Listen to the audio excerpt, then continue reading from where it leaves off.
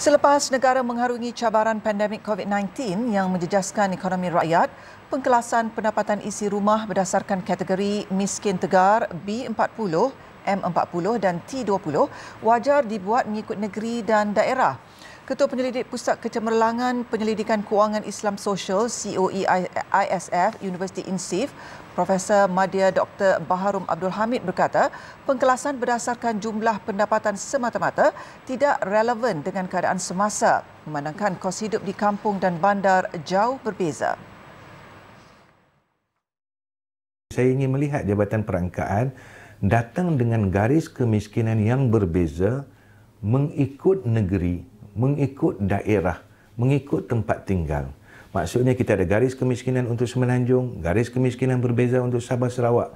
Di Semenanjung sendiri, garis kemiskinan berbeza untuk negeri Pantai Timur, Pantai Barat, Selatan dan Utara.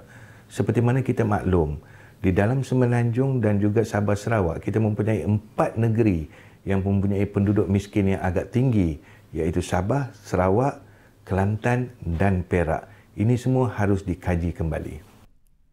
Tambah Profesor Madya Baharum, kos asas kehidupan seperti sewa rumah, pengangkutan, makanan dan perubatan juga berbeza mengikut lokasi, khususnya di Sabah dan Sarawak dan ia wajar diambil kira.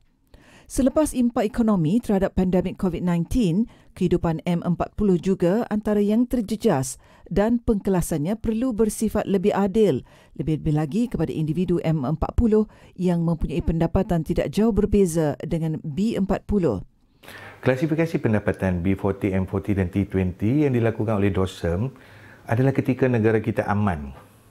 Selepas itu, banyak perkara telah berlaku. Pandemik COVID melanda, sekarang ni inflasi berlaku, maka ini adalah masa yang bertepatan untuk Jabatan Statistik untuk melihat kembali dan datang dengan perangkaan yang lebih tepat untuk mengklasifikasikan kembali B40, M40 dan T20 mengikut keadaan semasa. So saya harap ada berlaku perubahan dan perubahan ini adalah perubahan yang jujur dan tepat mengikut keadaan ekonomi semasa. Beliau dalam pada itu turut memberi perhatian terhadap pengkelasan pendapatan orang asli selain menawarkan khusus kemahiran yang lebih sesuai dan bertepatan dengan gaya hidup mereka.